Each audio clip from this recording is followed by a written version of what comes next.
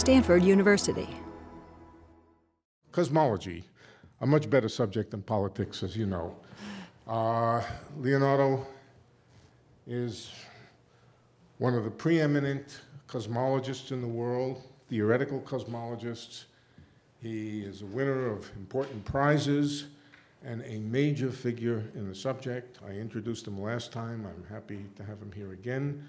Um, Leonardo has a wonderful British accent, and um, but I will ask him, Leonardo.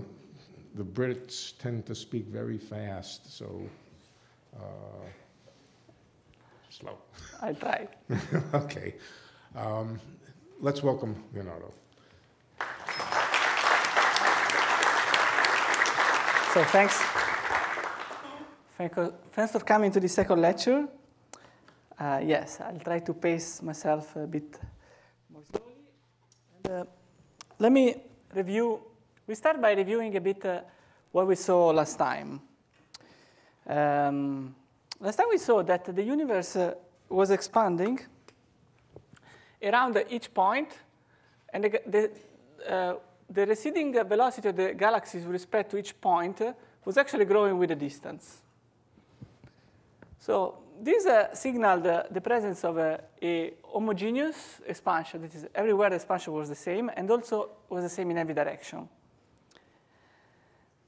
The, in, this means that uh, um, if you imagine that uh, the points uh, stay, the point, all our points that select uh, determine the, where the galaxies are, for example, we can identify them by putting them at point x1, x2, x3, and so on. And the physical distance uh, as a function of time between these two points, even though they, they, tend not to move, they stay on the same point of space, grows with time like a of t times x. Because as time goes on, this basically this plane grows. And so the distance between the coordinate points grows with time. Last time we saw also, so the physical distance, yeah.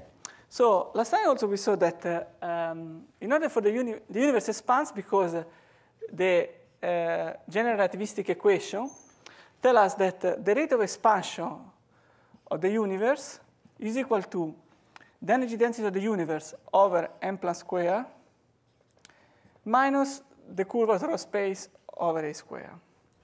Okay, let's review this formula.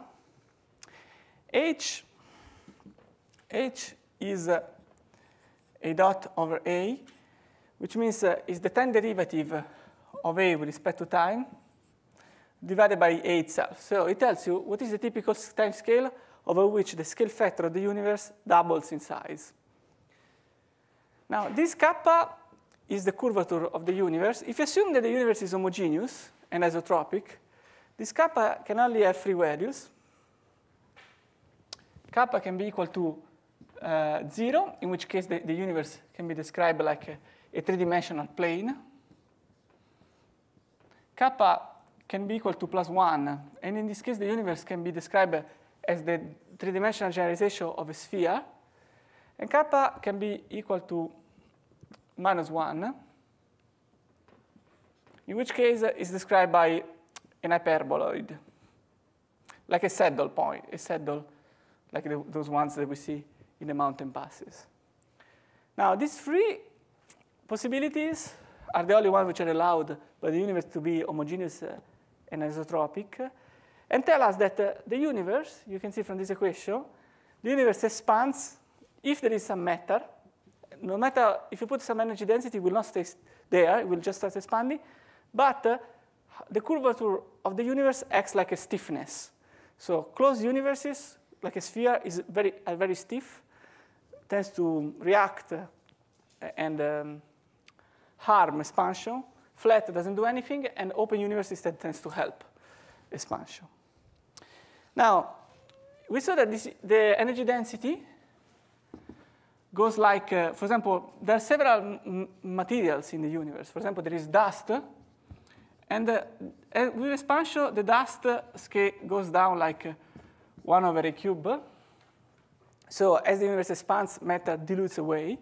Radiation uh, not only dilutes, uh, the number of photons, for example, dilutes away, but the, the wavelength of each photon also decreases with time, increases with time, so the redshift, uh, the decrease, the dilute away like 1 over 8 to the fourth, so much faster than, than, uh, than matter. So the universe, we saw that the universe, if we go back in time, this means that radiation will win over matter. Because if you go enough back in time, this 1 over a respect to this means that radiation will dominate. So if you go back in time, now maybe radiation uh, matter is dominating and is growing uh, back in time like 1 over a cube. But no matter how small is the radiation, sooner or later the radiation will win. And so we call the universe from the, in this epoch radiation dominated.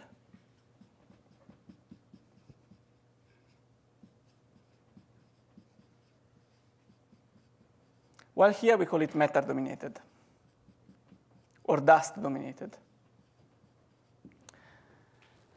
So this means that the universe in the past had very, very high density of radiation, which means it was very, very hot. In fact, we argue that uh, um, the universe started very, very hot with all the atoms ionized, and, uh, and, uh, and uh, with expansion it cooled down. Radiation diffused, got uh, colder. And there was a very important point, which is uh, at when the time of the universe was, was about 300,000 years old, the temperature of the universe was, became as cold as one electron volt, and the the attraction between an electron and a proton to form hydrogen, which is the bound state of uh, an electron and a proton, was strong enough to win over the, the, the, the will of radiation to, to, to, destroy the hydrogen atom and to make, keep it ionized. This is called the epoch of recombination.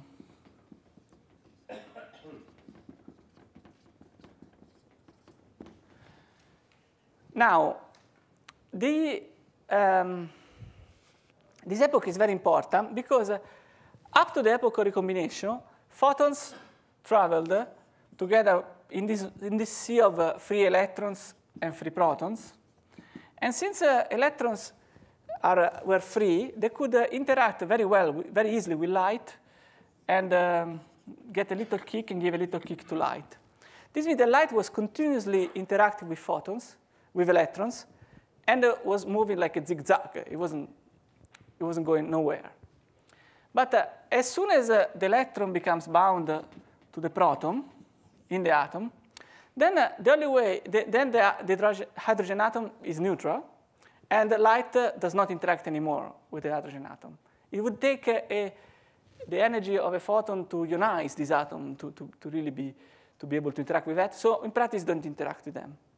Which means that at this epoch, now photons, which up to, up to that time uh, basically have been confined in a very narrow region, continually scattering with electron, became free.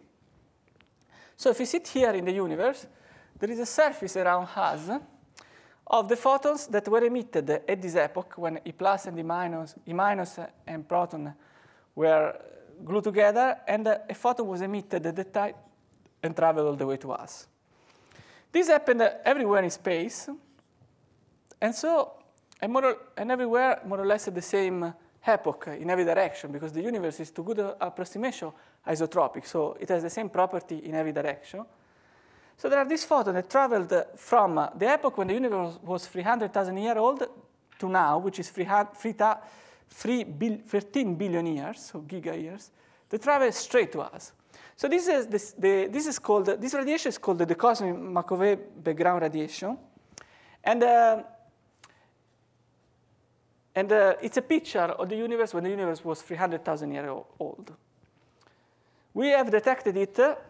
Um, so this is the, the, the, the, first detection of the CMB in 1964, who got the Nobel Prize. This is the detection of the fact that uh, this, uh, this CMB, cosmic microwave radiation, this CMB was not isotropic in every place. It, there was tiny, tiny fluctuation over the 10 to the minus 5. They also got the Nobel Prize for that. And with time, we, we measured this anisotropy very, very much better and better and better. And this is the, the current situation. Now, what emerges from this picture is that, uh, what emerges from this picture is the following, that uh, the, there were small fluctuations in the CMB at this epoch. And uh, by the time the universe passed from 300,000 years old to now, these fluctuations were over density that attracted through gravity more and more uh, over densities, and matter attracted more matter, more matter, and formed the galaxy. So this is the picture that emerges of the universe. You take a, a, point in the CMB where it was a bit hot, and let time goes on. Uh, gravitational attraction will make uh, gravity, um, dark matter come, come, come. At some point, it will become so dense that the first stars will form. Stars will glue together to form galaxies, and the structure of the universe emerges. Now, this is uh, actually um, this is a, a, an artist rendering, but notice that in, in, the universe, as we discussed last time, we cannot see uh, the evolution of a given point at all times. but we see, since tra light travels only at a finite speed, we see different points at different epoch. But if we put together the current observations, we can see that this is uh, actually, we can see actually that this is what's happening. So this is a, a gluing of all the data that we have uh, at our disposal. We're moving away from our galaxy, and you can see that there are many, many galaxies around us. So if, you're, if you move nearby us, if you look nearby us, means that we're looking at recent times. In recent times, there are uh, galaxies. As we move farther and farther, farther away, uh, means that we're looking at earlier times. Th there was no time to make galaxies. And in fact, uh, there is empty space. These are the so-called the dark ages. But then if you were in the epoch where perturbations were growing, but didn't grow enough yet to, to ignite the first galaxies, and then, uh, or the first stars. And then if you move farther, farther away, we look at different points that are farther away from us, but this means that the, the light that comes from them was coming from earlier on. And we see the cosmic microwave background radiation. And you can see that uh, as you move from here, where these fluctuations have been magnified, the, the, the temperature fluctuation these points are 10 to the minus 5, they're tiny. Uh, and they grow here, the, the fluctuations are 10, 100. So we go from 10 to the minus 5 to 10 to the plus 5. Huge change as we move forward in time. So this picture is confirmed. The universe started very, very, very, very, very, very simple, and, um, and the perturbations grew with time. However, there is a problem to make uh, the universe start so simple, um, there was a problem to, to, to, make the universe to start so simple, which is the so-called horizon problem. Now, we, last time we introduced the fact that um, there is a, something called the particle horizon, which says that the, if you take uh, the maximum physical distance to a, a light beam can travel from the beginning of time to now is, is given by AOT times the integral from some initial time to now the, of 1 over the scale factor of the universe at the time. And we saw that uh, if uh, matter dominates, matter domination, or radiation dominates, this was more or less 1 over the Hubble rate at the time of consideration. This, uh, the, this factor is a big problem because when we look at the CMB, the fact that we can see light coming from uh, these two oppos opposite directions means that uh, the amount uh, two photons can travel from the time of recombination to now is this distance, which is uh, actually 1 over the Hubble time now. But uh, at the time of recombination, Hubble was much higher because the, the, universe was much denser, and so the Hubble, the, the 1 over h at the time of the CMB, at the time of CMB emission, was, is, was very, very small. So we have many, many naively, causally disconnected regions that, uh, from our calculation, never talk to each other, and instead they found themselves to be extremely homogeneous.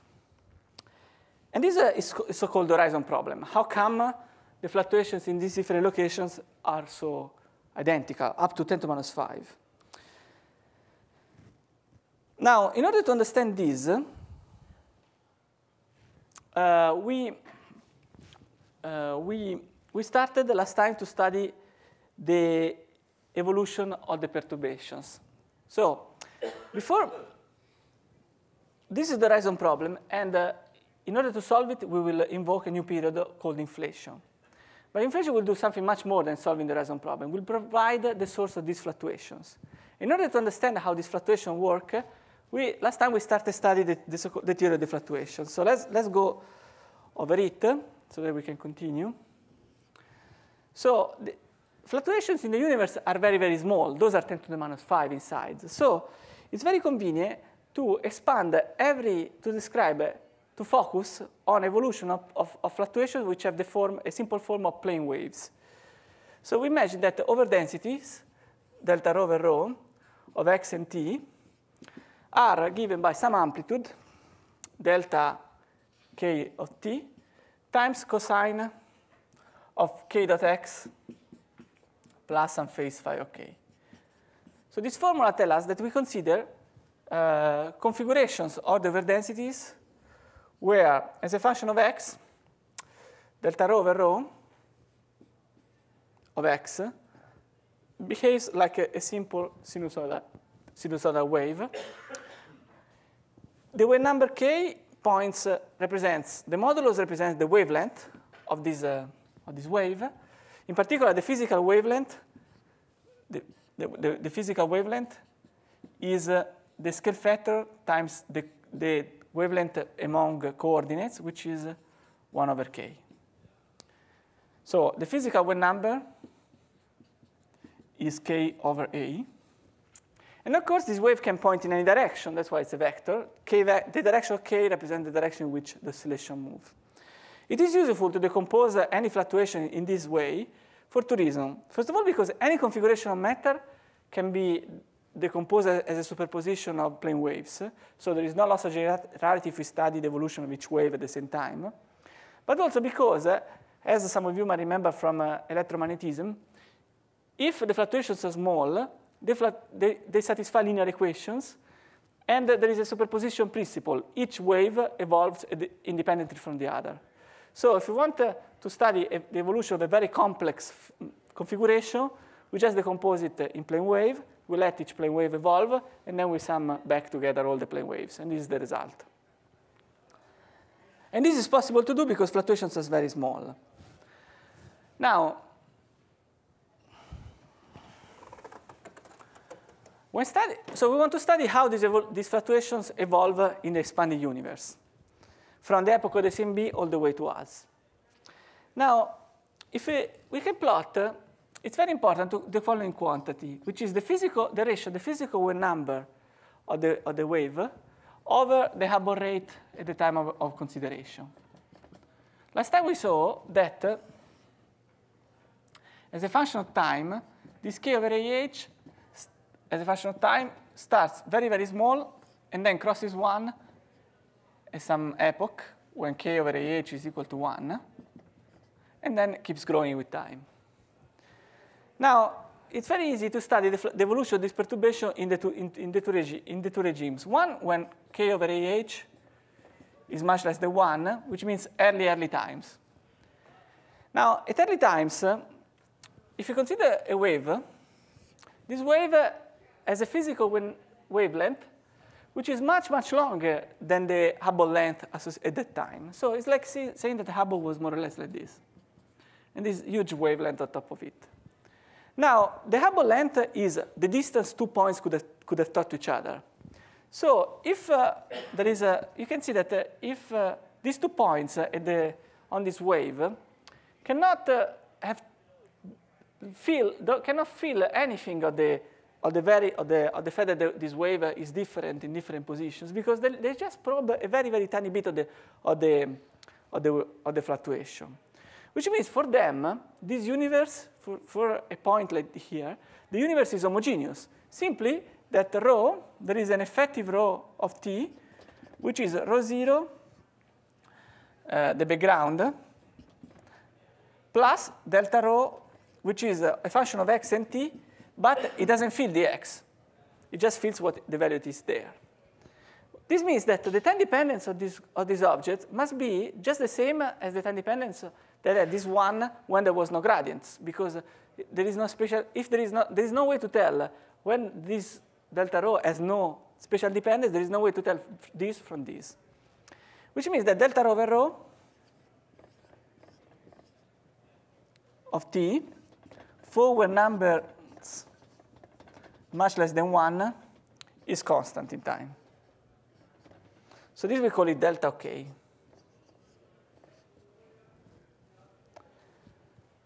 Now, instead, uh, as time goes on, so when the modes, when a given wavelength is a at the initial time is way outside the longer than Hubble, it stays constant. Its amplitude stays constant. However, as time goes on, okay, still we have one blackboard. So now, so we were, we were there. Eh? Now, the, the opposite regime is when k over a, thanks, eh? is much bigger than 1. In this case, uh, the, we're in the opposite regime, a bit later times, and basically, we have, we're in the opposite regime. That is, uh, the wavelength is very, very short uh, with respect to the Hubble rate at that time. At that point, we can use uh, uh, Einstein uh, equivalence principle, which simply tells that general relativity, whatever it is, at small distances and uh, small velocity, and this dark matter move very slowly, it's the same as Newton theory. And so at that time, uh, we can use uh, Einstein Newton equation instead of using the complicated general relativity equation to study the evolution of these fluctuations. And this evolution is very simple. Because basically, there is some overdensity someplace. And uh, by Newton, so, and, uh, and we can use Newton, Newton equation that tell us that there is a gravitational field which is proportional to g Newton times how much matter is in a given location. When we expand this in the fluctuations, we find that uh, um, so the gravitational field will have a background gravitational field, which is just the homogeneous expansion, plus a fluctuating uh, field, which is a function of x, while the background is not a function of x. And this is a, is a small correction, so delta phi is much smaller than phi. And uh, this, this, uh, this, this uh, gravitational field satisfies the equation of motion that delta phi as a Laplacian equal a square times delta rho over rho. That is, the fluctuation, the overdensities, the fluctuating overdensities in the universe source fluctuations in the gravitational field from this uh, Laplace equation. So this tells tell us how the gravitational field responds to the presence of dark matter. Now, dark matter will try to move, and now will move into this gravitational field, and uh, will try to fall into the potential well so created by this gravitational field. This we can see in the following, uh, in the next equation, which is simply, this is the equation that tells us how the gravitational field responds to dark matter, and now we're going to explain how dark matter moves in the presence of the gravitational field. So this is called, uh, this is called how dark matter moves.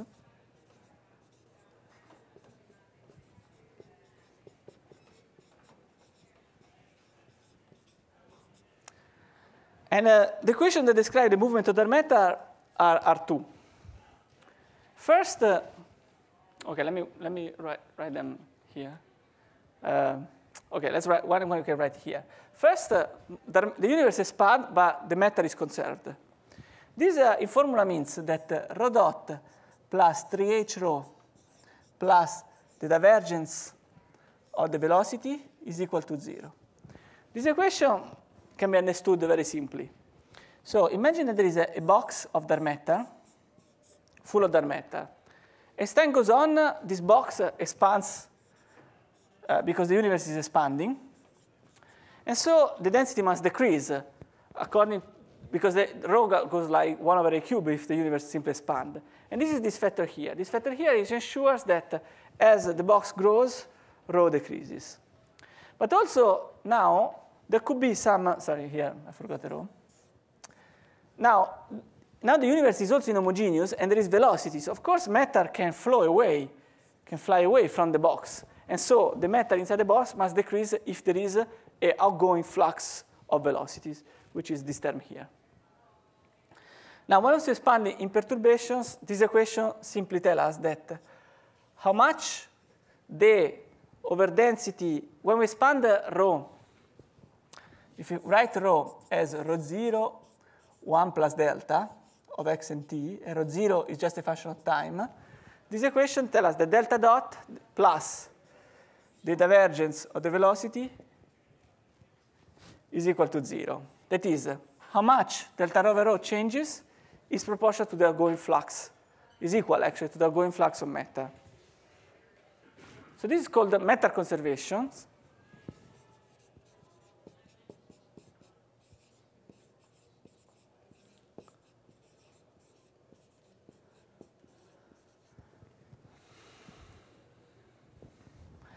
The second equation, thanks, eh?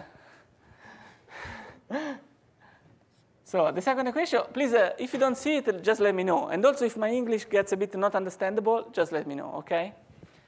So the other equation relevant is the momentum conservation. Matter is not only conserved, but also the momentum is conserved. So what is the equation for momentum? Again, it's very simple. If you take a box full of dark matter, there will be some momentum density in it, given by the sum of the momentum of each of the matter particles. The time derivative of the momentum, and the momentum, what it is, is just the product of the, the, the matter density times the velocity of this density. So the time derivative of the momentum is equal to how much this box flow. That is, if you ask how much the, so what will happen? This, uh, there is a box here which has some velocity. So after a bit of time, you will find the box here. So how much uh, the momentum changes this location is associated to how much there was a movement of the box. The box moves with some velocity v, so the, there is a term like this, which is uh, telling, telling us that the momentum follows the flow. And uh, if this was just the case, momentum would be con simply conserved along the flow. Matter moves, but doesn't go, the momentum doesn't go anyway. But of course, there is a gravitational force. So gravitational force takes Newton form, which is this. Tell us, this equation tells us that how much the momentum changes for a, for a bit, little fluid element of dark matter particle is proportional to the gravitational force. Now, again, we can make the same trick. We can expand in fluctuations, as we did for, before. And we obtain, a, um, so remember that, uh, so this we can expand. Remember that uh, the former equation for the matter was that, that matter conservation implied that uh, this was equal to zero. Now, once we expand these in fluctuations, we can, we, we can, uh, so we can replace the velocity here with, with, the with this delta, and we obtain an equation of motion for the, so by putting these two equations together, I have two unknown, delta and the velocity, and clearly we can solve for them. In particular, there is an equation, if you plug back this, if you substitute v here with delta dot, we obtain an equation for uh, dark matter which is the following.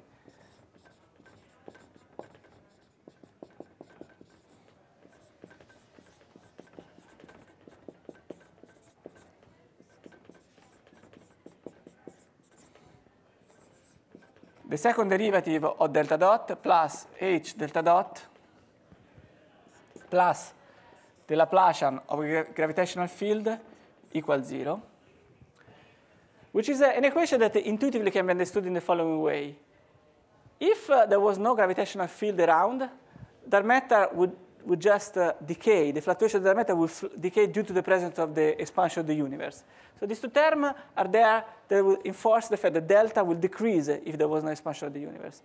But remember that the Laplacian of phi by Newton equation, so this was matter conservation, but Newton equation tells us that Laplacian of phi was equal h square delta. And so here we should plug h square delta. And then uh, once you do this, uh, the solution uh, looks like the delta, actually of t, for a given one number, grows like t to the two-third, which, uh, if you remember from last time, was how the scale factor grew in the universe when it was dominated by the dark matter. So this is actually equal to a of t in a dark matter universe, dominated universe. So this is uh, the evolution when the wave number is way, way smaller than, than Hubble.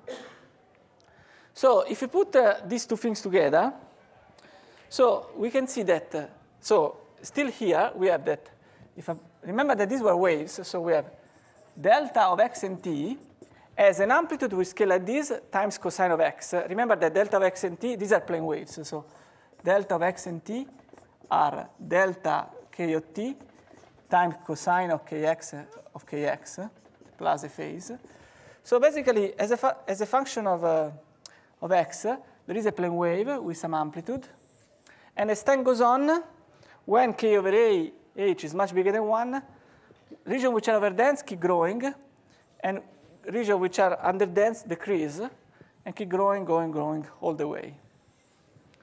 Okay, so over densities grow, under density decrease, become more and more void, empty space becomes more and more empty, proportional to A of t. Now, it's pretty clear that uh, um, at some point, uh,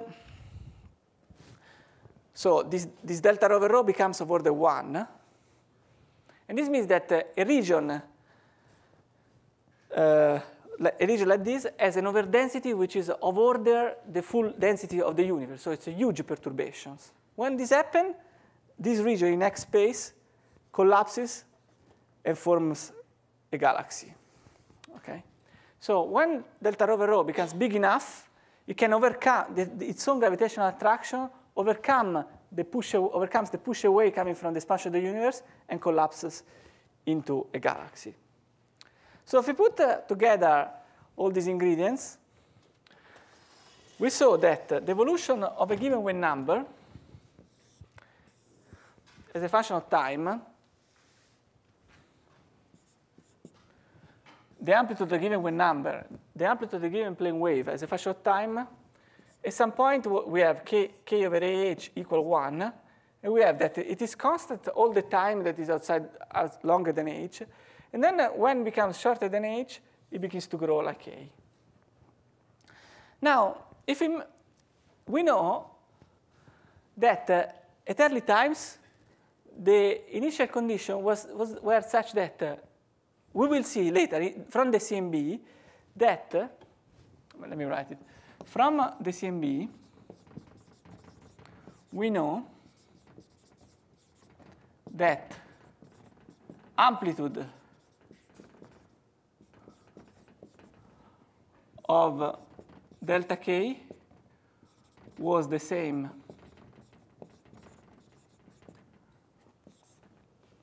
for every k. when k over ah is much less than 1. That is, uh, the initial conditions for the amplitude of every wave is the same for everybody. And so if you take a, a, a given wave number, at some point it will become uh, k over ah becomes of order 1 and grow and becomes to grow. A different wave number, maybe with a longer wavelength, will, uh, will take more time to become, uh, for each k over h to be, to be over the 1, and then we start growing. A very short number instead was already, k over h was over the 1 already earlier, and so started growing earlier. So this is a, as k becomes larger and larger. So these are very, very short wavelength, and these are very, very long wavelength. Now we say that the galaxies form when uh, delta, when delta over rho is over the 1, say. Sorry, forget this line. So say that this is 1. So you can see that the structure which are very, very small fluctuations become over the 1, the, the fluctuation become over the 1 earlier than longer wavelength and then longer, long, earlier than longer, longer wavelengths. So the picture that emerges is that uh, in the universe, very small structures, very small galaxies form very, very early on. And then bigger galaxies, maybe clusters of galaxies, form later on. So the, the way fluctuations grew in the universe due to the gravitational attractions and the fact that uh, on the initial conditions that we're going to explain later, every, every wavelength at the same power implies that structures form, form from small to big. So this uh, can be represented in this picture, which is a true picture. So if you take a cluster of galaxies, so this contains many millions of galaxies, but the galaxies which are contain each dot is much older than the cluster of galaxies. And inside the galaxy, there are many stars which are older than the, than the galaxy itself. So structure forms from small to big. And now the, there are big, uh, huge objects which are called supercluster, which are grouping of 10 to the 10 galaxies. They are becoming formed together to form sort of planetary system, but where each, gala each planet is actually many, many galaxies. So this, I think, uh, it's a, a major factor of the evolution of the universe. We know how the structure of the universe formed, from small to big. It's a huge qualitative uh, uh, no, something that we know. It could have been completely opposite. It could have been a first big structure form and, and then small structure form, or maybe all structure form at the same time. Instead, uh, they form like this. And this can be is clearly checking the data. Now, however, I didn't complete the story because uh, still uh, I told you that for this to be the case, better be that the initial condition for each wave number had to be at the same amplitude for each wave number. And this we have to see it in the CMB. Okay, so therefore, let's explain how the CMB, the evolution, the fluctuations evolve at the time of the CMB.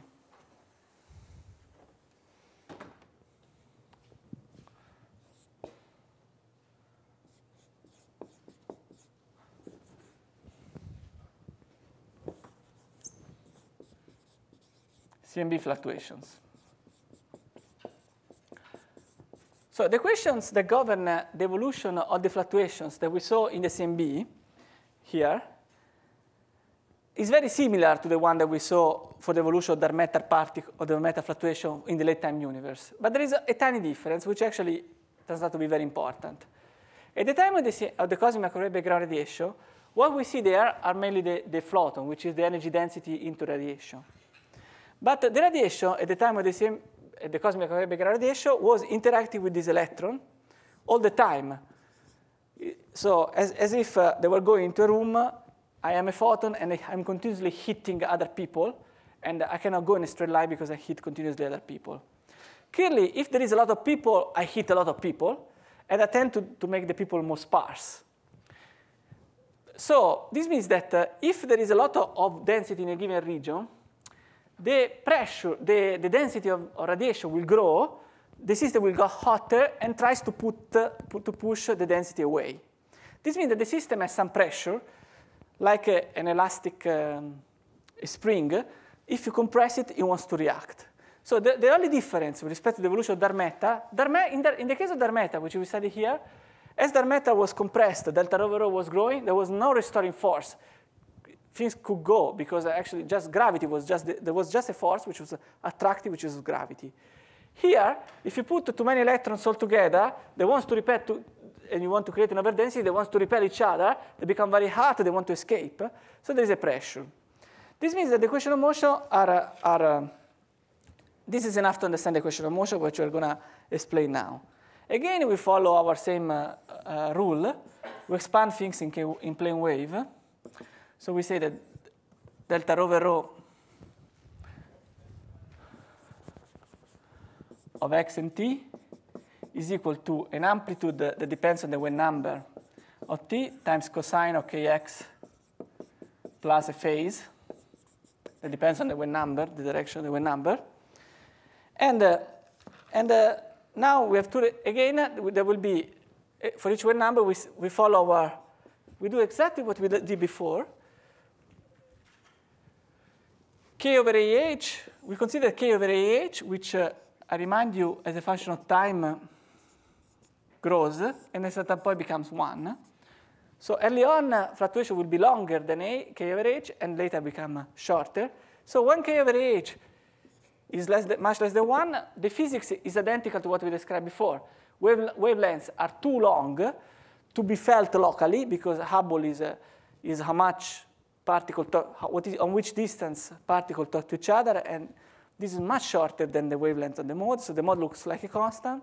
So delta rho over rho for k over ah much less than 1 is constant. Delta rho evolves like the background. This is co constant. Instead, uh, when k over ah is much bigger than 1, we're talking about uh, a, a fluctuations which is much, much shorter than, than, the, the typical size of the region over which particles can talk to each other. And so these fluctuations are felt. And these fluctuations are fluctuation in the density. So this is much denser region, this is much smaller region. So the equation of motion that is satisfied are, are the following. There is matter conservation, which is the same as before. Imagine that we're describing the field of electrons. Before we had matter conservation for dark matter, which gives this. This is identical, but electrons are also conserved, so delta dot plus the IVI is equal to zero. But uh, the way the force act on the, on the electrons, this was the way it acted on dark matter. There is a different term. So for electrons, we get rho v plus Vj dj of rho v. There is the gravita gravitational force. But also there is a new term here, which, is, which takes the form of c square, the gradient of rho. And this is equal to 0. So this is the new term, which was absent for dark matter, which tell us that if there is a, a difference in, in density from two places, there is a force. A force that acts opposite to gravity and tends to pull things away. In fact, again, we can play the same trick. If you put, uh, if you substitute uh, Vi with delta dot and you plug it here, we get an equation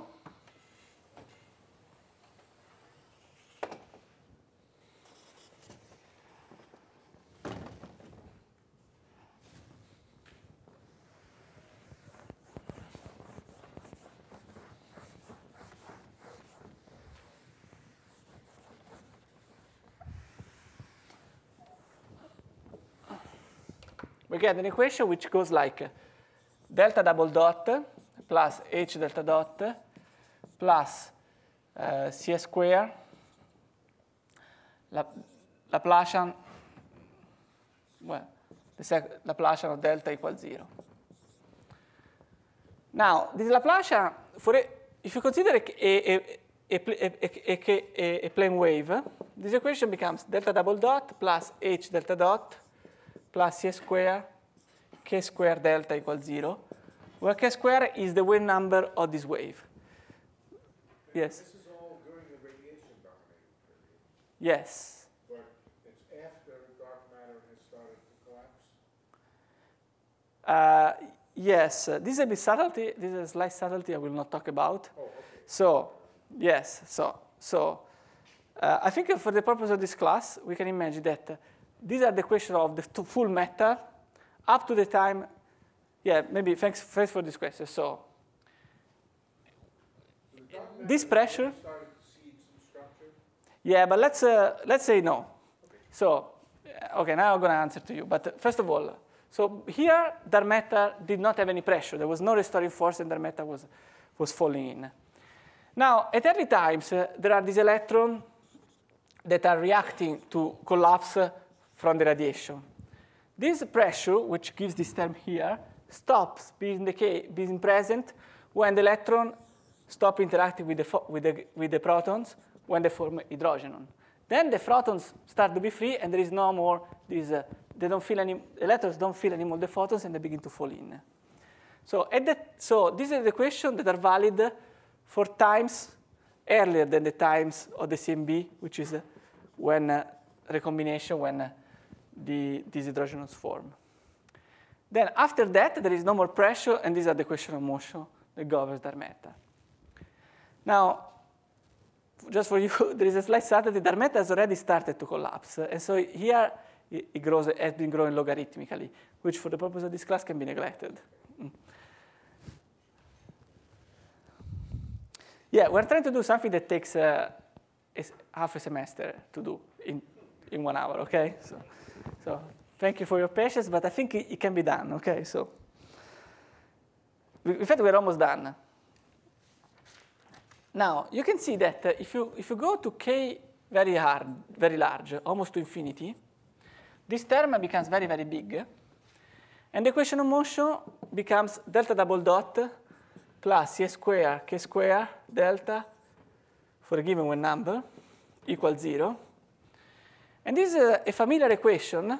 If I write it uh, as uh, delta k double dot plus omega square delta k equations have the same solution no matter what the variable are. For example, you can write this equation as x double dot plus omega square x equals 0.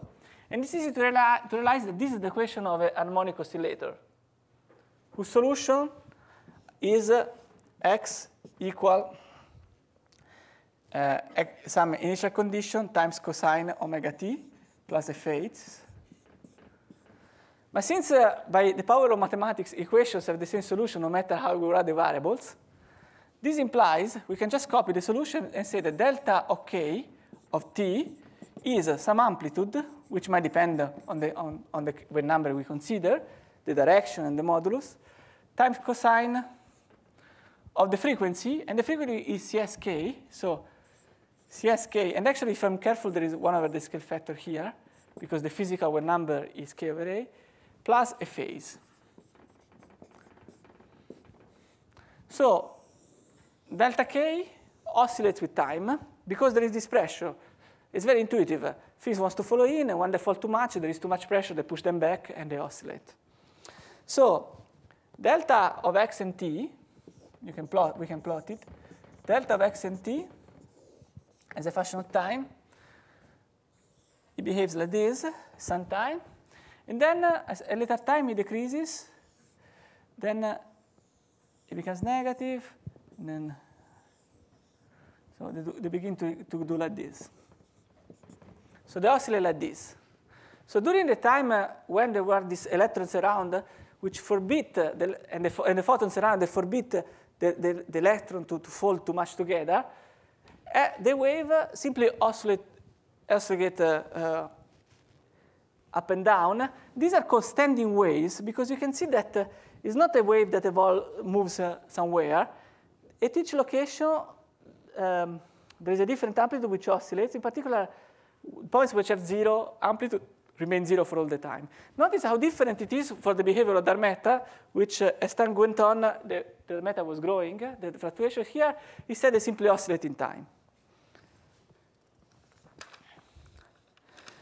Now, notice that uh, for each, of course, uh, we, are in, in, we live in three spatial dimensions, so there, there, is, a, there is a direction over which we can point uh, the wave number. And this is reflected here in the fact that the amplitude of these oscillations, the Mach, which is uh, this A here, can actually depend on the wave number itself, uh, on the direction, and also the phase, uh, when it starts to oscillate, in principle can depend on the, on the direction of the wave number. But the frequency of oscillation cannot depend on the wave number, because uh, the equations are rotational invariant, and so each uh, direction must oscillate with the same frequencies. The initial conditions of the universe might not be rotational invariance, invariance, so some fluctuation might be bigger than some other, but the way the things evolve must be the same for every wave. So it's very important this way, this, this, uh, these oscillations, this frequency is uh, independent of, uh, of uh, direction. Because now, now you have seen, uh, you can see that, uh, so let's try to determine these initial conditions you see that uh, when k over a, h is much less than 1, delta over rho must be constant. So this object, when k over, notice that uh, since, since uh, h is 1 over t, this object here is k over ah. So if I compute the delta dot is equal to a of times cs k over ah times sine of k over ah. The derivative of the cosine is the sine plus the phase. And when k over ah goes to 0, this is equal to a of times cs k over ah times sine of phi of k, which, according to the former equation that we found, when k over h is, less, is much less than 1, del delta dot, the derivative must be 0. And the only way to make this sign to be 0 is if phi k must be 0, so phi k must be 0. So the phase for every wave number is the same, and in particular it's 0. It's very important it is the same. Because this means that, but I can't say anything about this, the amplitude. The amplitude can be anything. So basically what, what we achieve is the following picture, that uh, as time goes on, that if we look at the evolution of a given wave number, there are many directions for the given wave number. Maybe a wave number pointing north, south, east, okay, 45 degrees. And uh, each one can have an, its own amplitude, but then when k over ah becomes 1, it begins to oscillate like this. Then, sorry, sorry, it's cosine, sorry. So for k over h less than 1, it was a constant, then k over h begins to oscillate like a cosine. But another mode might have a different amplitude, and then it begins to oscillate, but it has the same frequency, just a smaller amplitude, because you see the frequency is k independent. Then there may be another guy was very lucky, it was very big, but then, and then it starts to oscillate with the same frequency. So each uh, wave number, as uh, k over h becomes less than 1, begins to oscillate, and they all the same frequency. For example, it could have been something different. For example, it could have, if uh, we didn't have the, to impose this initial condition, we tell us that uh, when the fluctuations are, are, longer than Hubble, they are constant in time. And at this point, for example, the evolution could have been that the mode starts oscillating like this. Another mode maybe oscillates with the opposite phase. Another mode with three quarter of the phase, so it goes like this. And you see that quickly there is no structure. Instead here there is a, a very nice structure. This structure actually leads to something beautiful in the experiment because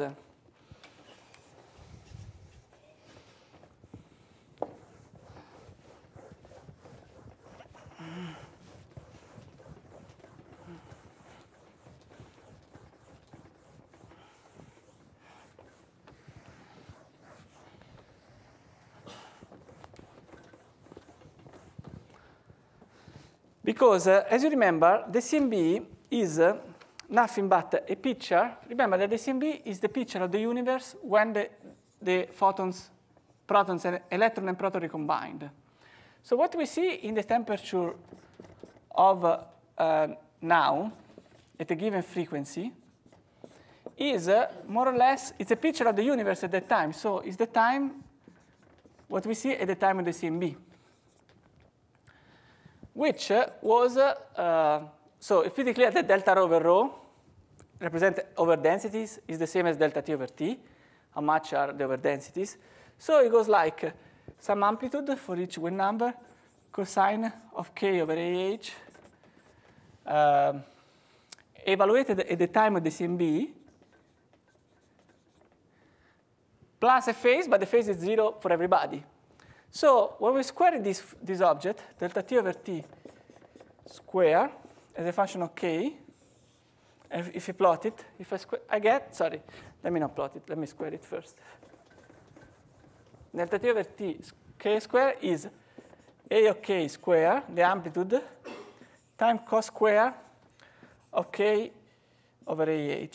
So it's, it's a cosine square, so if I plot it as a function of k, so what we see now is uh, this object evaluated at the time of the CMB. So this is uh, h of t CMB.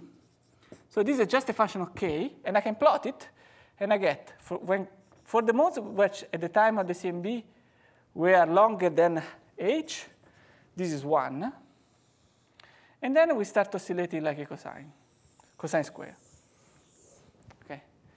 So this is uh, the prediction from our calculation what we, should, we could see in the CMB, in the cosine ratio, if uh, there were fluctuations longer, initially longer than Hubble. Because if they're longer than Hubble, they're constant in time. And if they're constant in time, there is no phase, and then there are the oscillations. Instead, if, for example, the, the fluctuations were produced just uh, when the, the k over h becomes over the 1, then the phase could have been different. And if I square this picture here, I if I square this picture here, I will get uh, delta t over t square.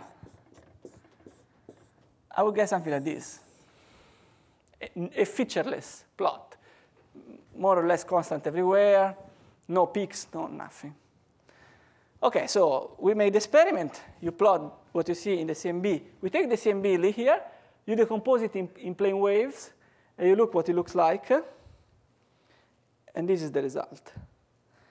So you can see that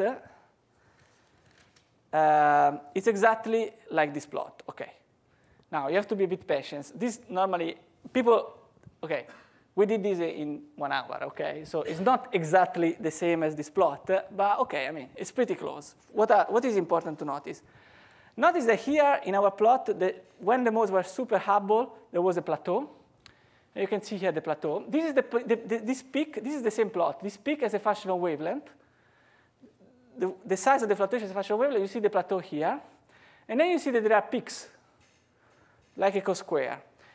Now, okay, so two important, so oscillations and the plateau tell us that uh, there were fluctuations super longer than the rise of, than, longer than the Hubble scale at the time of the, of the CMB.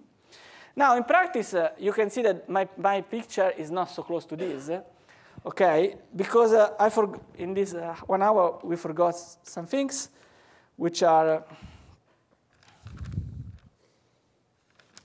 uh, which are the fact that uh, the reason why, for example, these, the are, don't have the same height, you can see the peaks, by the way, are one, two, three, four, five, six, seven. There are seven peaks. Actually, there are really nine. They detected nine peaks. Now, the reason why they're not all the same height is because this fluid not only has some pressure, but there's also some viscosity, and so high-frequency oscillations get damped. But OK. And also, the, the, you see my, my plot was going all the way to zero. They don't go to zero here. And this is because dark matter was not oscillating in time, and this creates an offset. But come on, I mean, it's OK. I mean, it's OK. OK, you got the idea. By the way, this I think is the most beautiful experimental result in cosmology, still without a, Nobel Prize. This is a, this is a big thing. OK, this, when you see this, uh, it's a fantastic. Uh, Ah, maybe I should have said this, Sorry, thank you. So this, thank you. So these are the red points are the data points, and this is the, the green curve is the green curve pre predicted by solving these equations carefully. Okay. So you see that, uh, but not much more carefully than what we did. Okay. The green curve is constructed by, thank you. Uh, so what are the important points to take uh, of this plot? Mm, let me. I think now, more or less now we have all the ingredients to solve, uh, to understand how the green curve has been constructed. So which is useful for the rest of the, of the talk. Now, the average, you can see that uh, the, this, this, plot is the, the plot of the average squared, of the amplitude square of the fluctuation. What is plotted? For each wavelength, it is plotted. We, we first, uh, one plots the average of A of which is 1 over the number of directions you, for a number that can have, which is dictated by the experimental resolution in angles, times the sum, the sum over all the directions of the amplitude of a given wave number. And this is to a very good approximation zero. That is, uh, the fluctuations in each direction average to zero. Some places hotter, some places colder, they average zero. The variance of this distribution is the sum of square, which is defined as 1 over the number of directions times the sum over all directions of the amplitude square, okay? Instead, uh, is not zero, and is what's plotted there. So each point, each point there is this operation. And this operation is very well fitted by a function which is spatially k independent, so k to the zero, which is a, k to the zero is one. That is, a, is something that does not depend on k. In reality, this is, means that uh, all modes, all wavelength, all k's all, all plane waves have the same power, had the same power, the same initial power. Which, by the way, is very important for us because uh, remember that uh, in order to conclude the structure formed from, big, from small to big, uh, we needed to assume that the initial conditions for the modes were that all wavelengths had the same initial conditions in power, and this is exactly matched by this curve. In fact, uh, Yes, this is exactly matched by this curve. For example, if this was k to the 1, this curve here would have been more like this. So there will be oscillations on top of k to the 1. If it was k to the minus 1, it would have been like this. Okay? Instead, we find k to the 0. In reality, we find k to the minus 0.04. So a, they're not quite uh, they're exactly the same power, but uh, just approximate the same power. And uh, so what it takes to take this curve is to impose that this initial condition for each mode is a, a given fixed number, a constant times k to the 0. And then uh, the equations, basically the equations that we solved by hand here on the blackboard, just put in the computer with some more details. Uh, some people became famous, but uh, it's just some more details of what we wrote. And then you get the, the, also the fact that the peaks are not the same. They're not the same everywhere. But for us, uh, it's important to notice that all modes at the same amplitude, which means that uh, now we can conclude the structure in the universe formed from, from, from small to big, which is a beautiful thing to know. And also that uh, the, the fluctuations were super Hubble because the, at, the, at the time of the CMB because they, they, they, have acoustic peaks, otherwise there wouldn't be these peaks.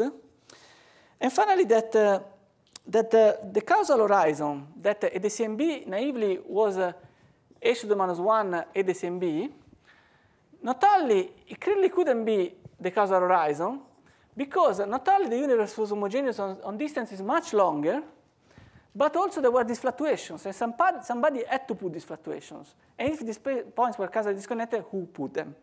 This will be the role of inflation.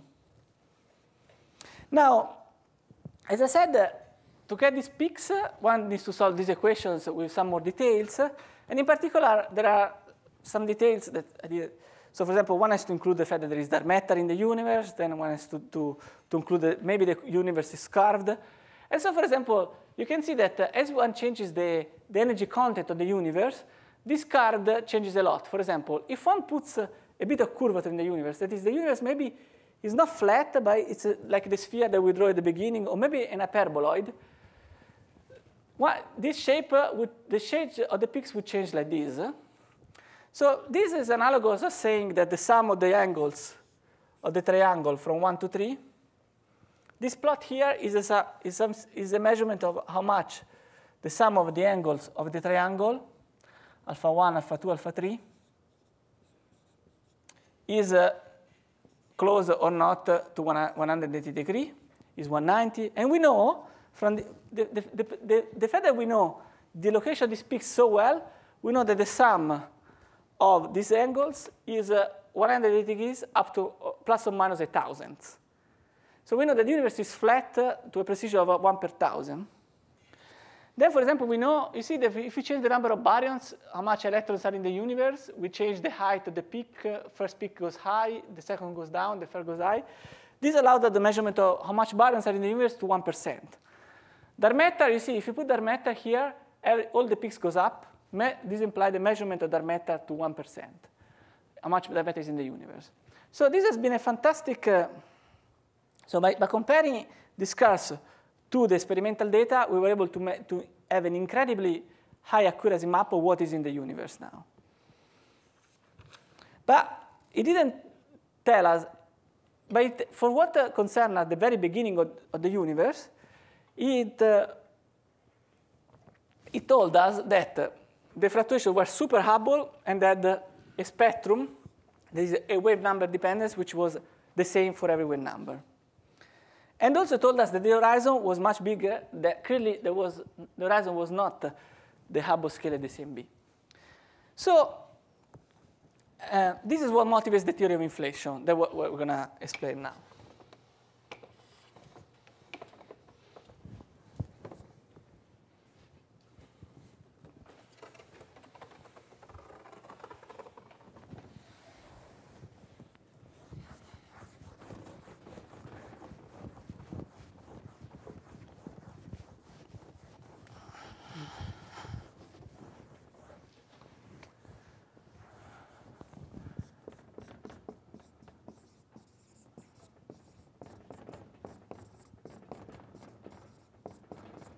Now, the theory of inflation is, uh, now we see that the universe, uh, if it was always matter or radiation dominated, it would have been a very peculiar universe because it must have incredible homogeneity on super causal horizon scale, and uh, also with small fluctuation 10 to the minus 5 presence on scales longer than the Hubble rate.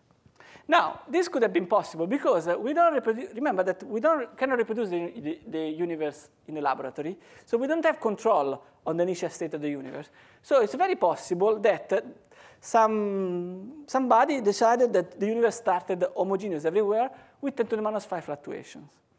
This is a, a, a possibility that we cannot rule out. It just it seems a very awkward initial conditions. In particular, okay, let me just cut it here. However, there is another option. It could be that the, these peculiar initial conditions were the actual natural final conditions of a preceding epoch. We will postulate, indeed, that there is an epoch of inflation that precedes the epoch of the Big Bang that we described so far, the radiation domination and then the dark matter domination, where these uh, peculiar looking initial conditions are actually the natural outcome. And this will be what inflation does. Okay, what is inflation? Inflation is a period, inflation is postulating, is, a, is postulating the presence of a period of exponential expansion of the universe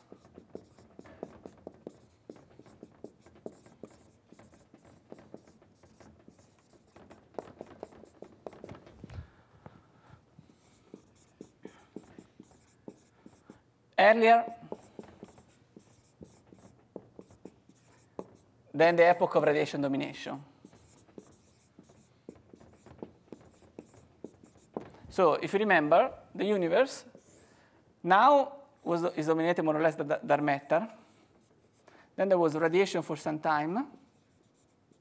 And then we see here, we say that there is a period of inflation.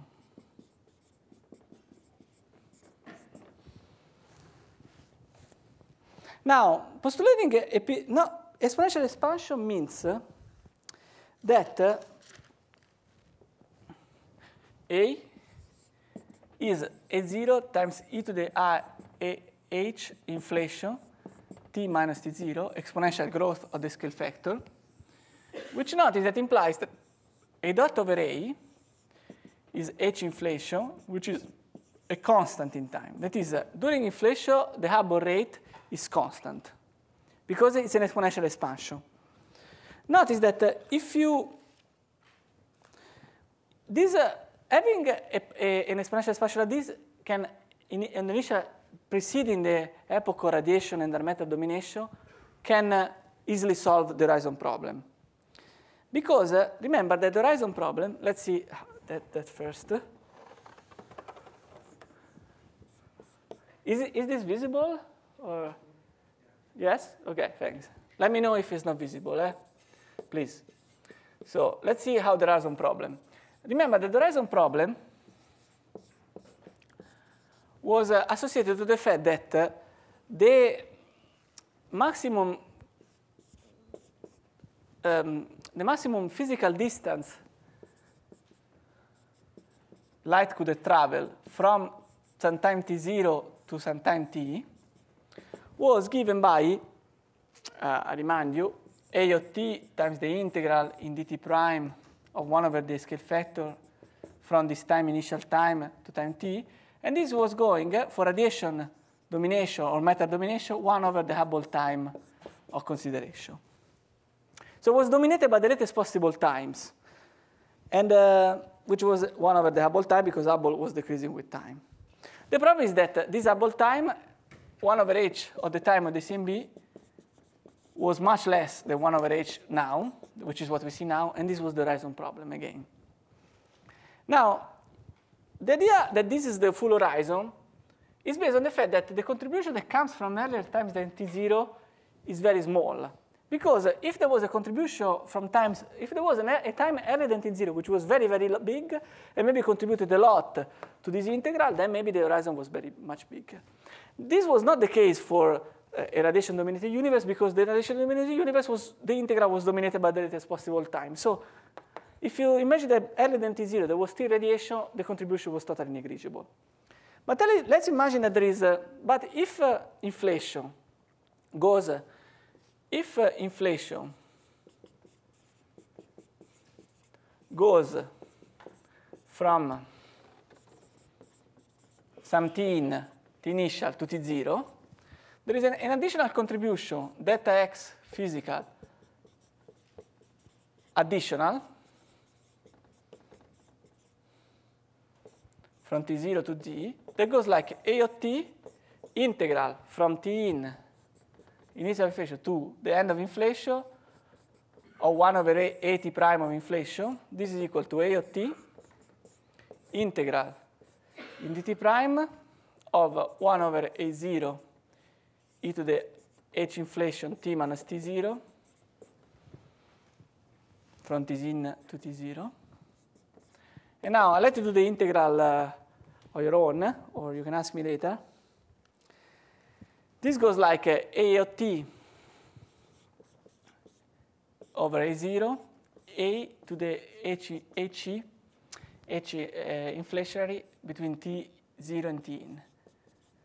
While this one here, I can write it as AOT over a0, t to the 1 half, t0 to the 1 half. So this was the physical uh, horizon in the absence of inflation. And uh, if there is inflation before, there is this contribution, which uh, you can see that this exponential can be much bigger. So this, the, the total horizon is the sum of these two quantities. And maybe this quantity can be much bigger than this uh, by making inflation lasting long enough. We're competing, making a power compete with an exponential.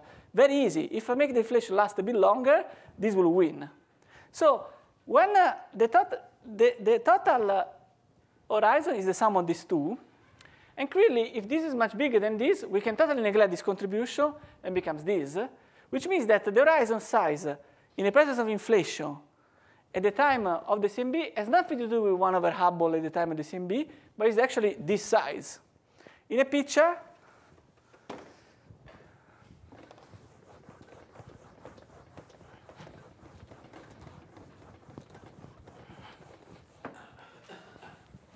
In a picture, again, this was the CMB, and this was the this is Hubble zero, what we see now. This is the naive horizon, naive 1 over h TCMB. In reality, the horizon size can be much, much bigger. Everything that we see, the horizon size can be much, nothing to do with h, can be this exponential here. In particular, it's enough for t uh, 0, the end of inflation, minus t initial, to be of order 60 Hubble times during inflation for to completely solve the horizon problem. So the way the horizon problem is solved by inflation is, is simply saying that the, the, horizon, it's a find a way to make the horizon much, much bigger than, than uh, what it is uh, now. What, it, what was associated, much, much bigger than 1 over h, which was the, the horizon that we thought before. So maybe it's an, another figure is, in, is useful. So if I, if, so if now, the, if in inflationary cosmology, if this is time and this is some length scale, the Hubble rate goes like this in inflationary cosmology. Here it's constant, and then uh, becomes like this, 1 over a, and this 1 over a 0. This is uh, the distance we see now. And for example, a distance like this uh, was, was uh, naively, if the, for example, would naively be, if this is the time of the CMB, a distance like this was naively longer than the, hub, the horizon, longer than Hubble at the time of the CMB, a distance like this, for example. And naively was outside, in a, if this was the naive horizon, was, was longer than the, the naive horizon at the time of the CMB, but reality in inflation the horizon is this, is exponentially larger, has nothing to do with age. So there are some problem. It's easy solved if you have inflation. Now, how can you create inflation?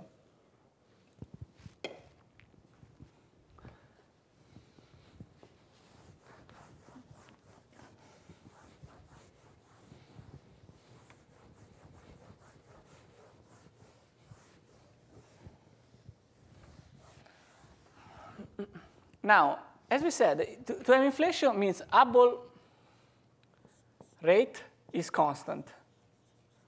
Notice that Hubble square from, Newton, from Einstein equation is rho over m Planck square. Hubble constant means that rho is constant. Notice that for radiation, we have, for dark matter, for dark matter, we had the rho goes down 1 over a cube, or rho radiation goes down like 1 over a to the fourth. So instead, in inflation, rho of this inflationary component is constant. This is a very peculiar thing. If the universe expands, the energy density remains the same. Okay, this is a, a material which is pretty peculiar. And uh, in order to explain how this material can, can uh, be achieved, uh, um, let me generalize a bit uh, what we normally, what, what you already know about a scalar field. So let me introduce, well, generalize slightly what you already know, which is the, you already know what are scalar fields. Scalar fields are very simple objects. They are functions they are a number associated to each location in, in space. There's a number there, there, there for each point. Of course, this number can change in time. So it's phi of x, x1, x2, x3 of t. And this, this symbol we call phi. You already know many scalar fields. Like you know, for example, the temperature in this room is not the same everywhere. So there is temperature there of x, x, y, x2, x3. And it, it depends on time. So examples are t of x and t, or even delta rho over rho of x and t, etc., etc. The magnetization of x and t, you, you're already familiar with them. The only thing eh, is that eh, in order to understand how to achieve an epoch of inflation, we need to understand what is the most general scalar field we can have, compatible with the laws of physics that we know, which are quantum mechanics and general relativity. So we'll follow, we'll just try to see what nature in the form of quantum mechanics and general relativity can allow us to do. So now, scalar fields have an energy. So we can associate to a scalar field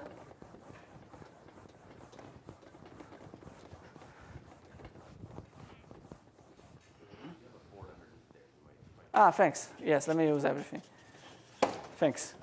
So there is a, an energy associated to, we can imagine that there is an energy associated to the value of the scalar field at a given location. Now, since this energy is uh, per each point, uh, it's an energy density. There is an energy per unit point. So there could be an energy associated, uh, the, energy, the, energy, density can be a function of uh, what is the value, a generic function, what is the value of uh, the field at a given point. For example, if you have a temperature x, y, z, it's pretty clear that the energy is a function of the temperature. It will grow.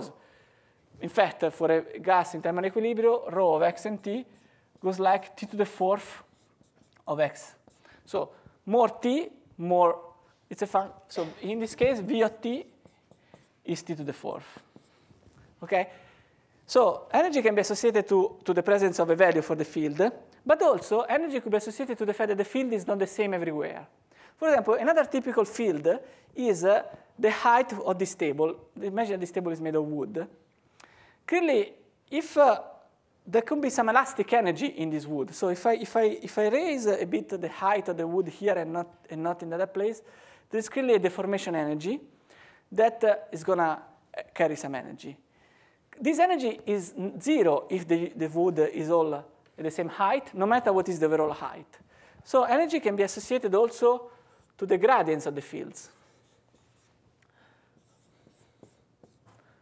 Okay. So the, in general, the energy density of a scalar field is the sum of this gradient energy plus the potential energy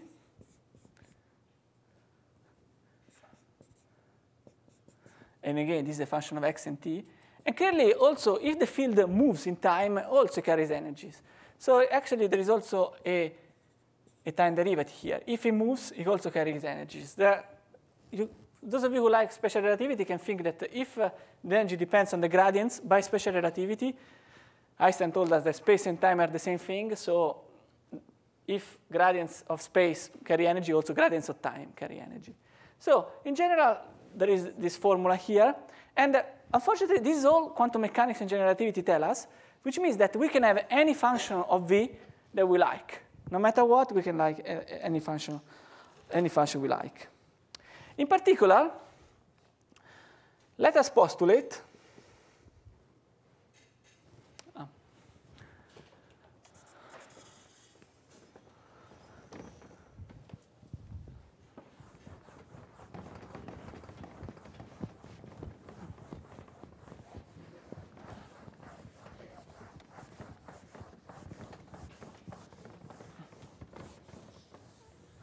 Okay, let us postulate. I mean, let us postulate means let us uh, choose that uh, in the early universe there was a scalar field with the potential of this form. As a function of phi, v of phi was very, very, very flat here, and then uh, slightly going down. And then uh, at some point called phi r, the potential drops down. So there's a tiny, almost a plateau with a slight gradient here. This uh, quantum mechanics and general relativity allows to, to do that. This will be the inflationary field, scalar field. So what in inflation we do? We postulate that in initial conditions of the universe, there was this field present. This field, uh, I will make it clear, is not a field or a, a, a particle an object that is already in, the, in our laws of physics. The physics that you, the laws of physics that you, you got explained by Dimopoulos in the former mini course do not contain an inflaton. So we don't have yet an experimental verification of this inflationary field. This inflationary field is introduced by us in order to make the universe look like the way it is in a reasonable way.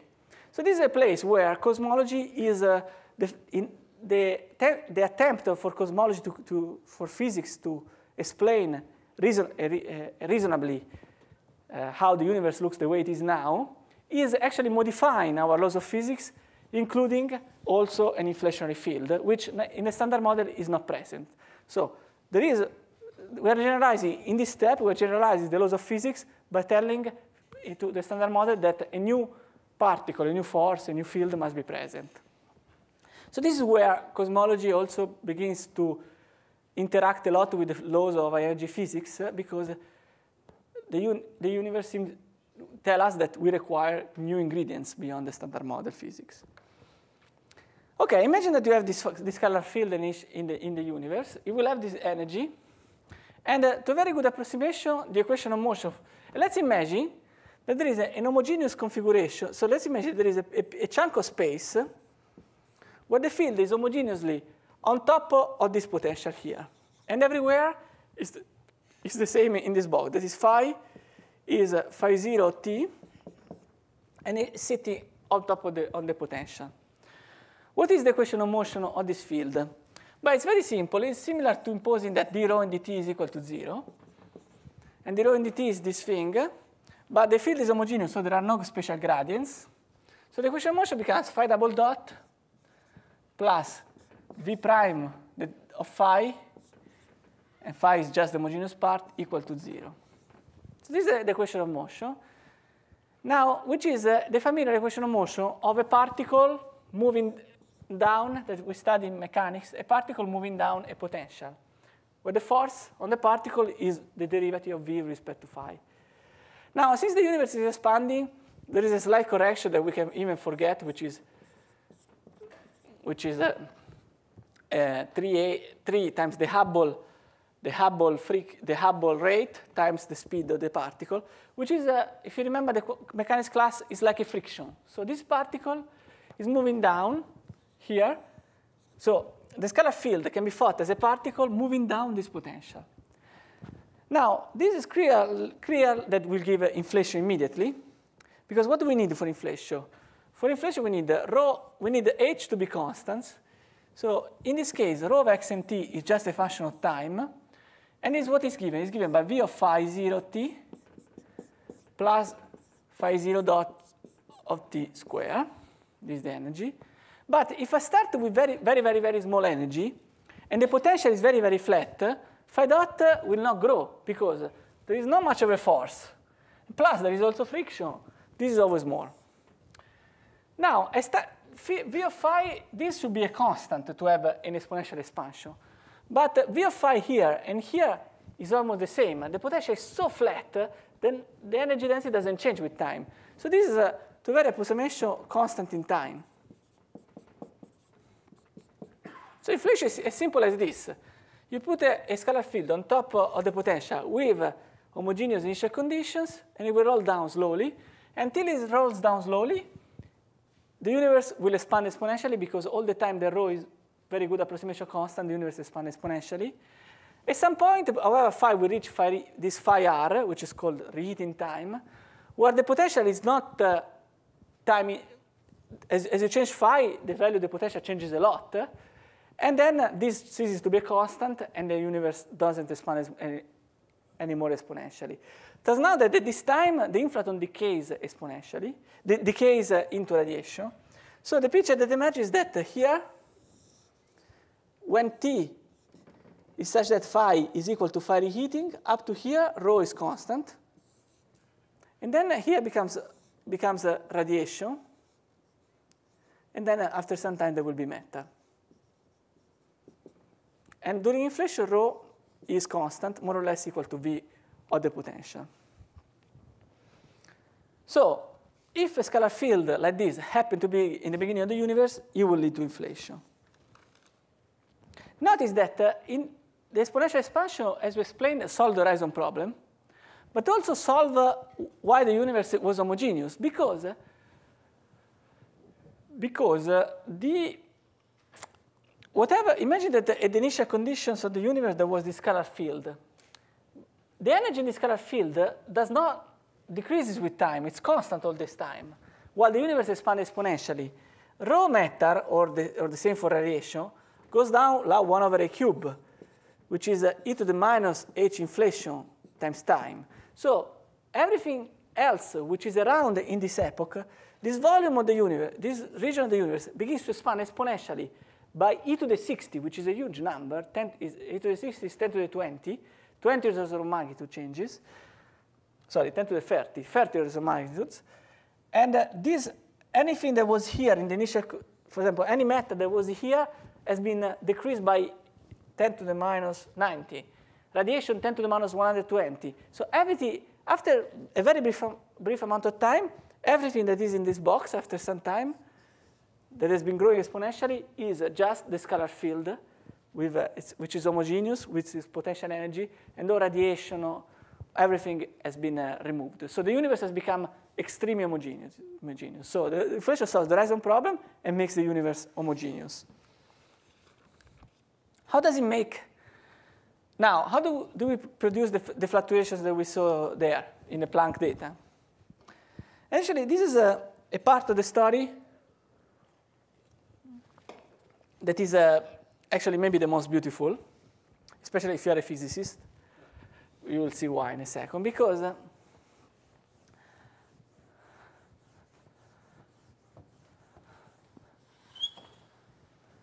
let's see how the, okay, so homogeneity and the horizon problem are solved.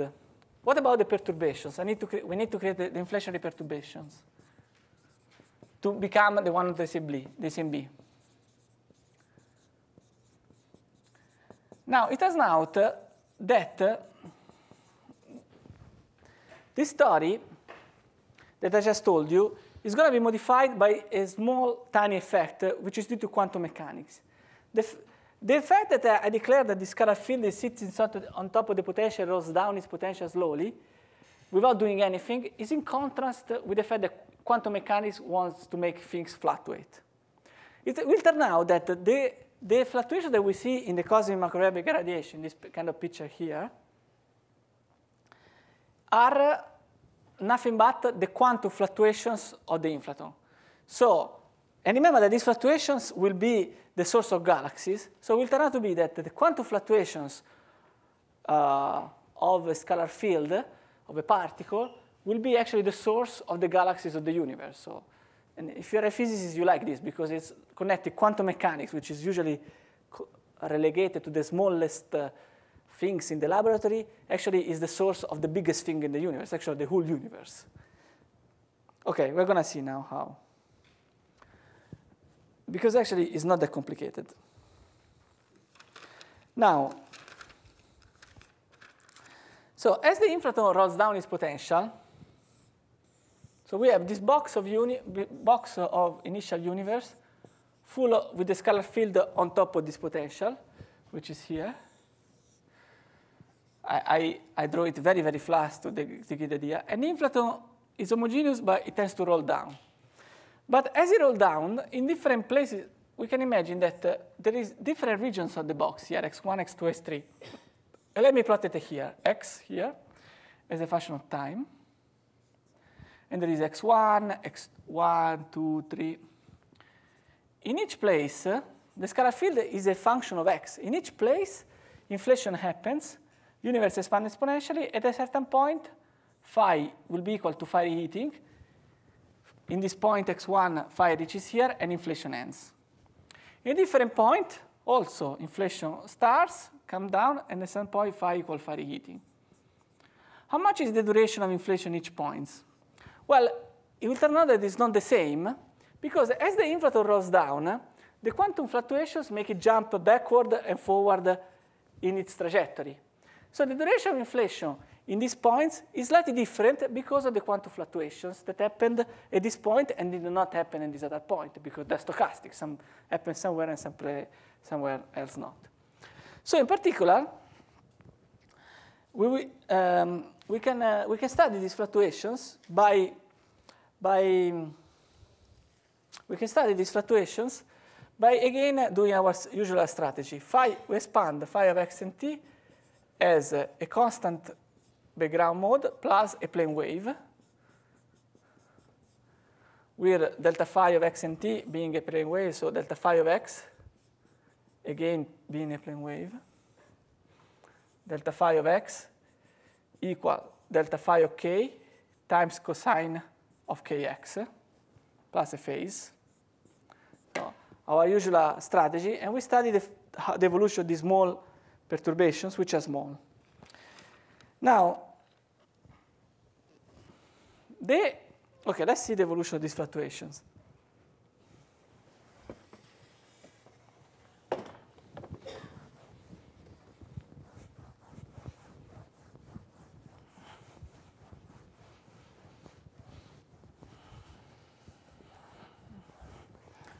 Okay, now, there is a, actually, because the universe is expanding, it's useful, the, the equation of motion are particularly simple for a, a delta phi c, which is a, a slightly change of variable of uh, our phi, which is a to the free half delta phi. So you have just to keep in mind that instead of studying the equation for delta phi, I studied the equation for this different variable. The equation of motion for this variable, delta phi c, are, are delta phi c double dot for each weight number, plus k square over a square, delta phi c, okay, equals 0. So this is, uh, again, uh, a familiar equation. If uh, I call omega equal k over a, this looks like delta phi double dot plus c plus omega square, delta phi c equals 0, which is the equation for the harmonic oscillator that we solved before. So this is a, an equation which is similar to x double dot plus omega square x equals 0, which is the equation for an harmonic oscillator. Now, the only difference is that this function, this omega, while the one that we study in quantum mechanics, the harmonic oscillator, has a frequency which is time independent, here the frequency is, is time dependent because A is time dependent. Now, it's possible to solve this equation without doing any calculation, but notice the following thing. The, the frequency, the typical scale, there is a, when you have an harmonic oscillator like this, there is a typical time scale for the system, which is the frequency. This, the frequency is how much the system probes itself, okay? How much, what is the typical time scale to, to check that all these parts are in the, in the, in the index location. So the time, uh, the, the, but this frequency in this case is, uh, is uh, time dependent. But you can check how much uh, the, the, time, the change in time of this frequency is with respect to the frequency, and it goes like h over omega. And notice that uh, as uh, a goes back in the past to zero exponentially, this omega becomes very, very large. So this goes like uh, over a0 times e to the ht, e to the minus ht. So early on, omega dot over a, oh, sorry, early on, omega dot over a over omega square is very, very small. So when k over ah inflationary is much less than 1, omega dot over omega square, which is omega, k over a, which is omega over h, is much less than 1. So very small. In this regime, it's very easy to guess what is the solution. In fact, we, can, we know what is the solution for the harmonic oscillator.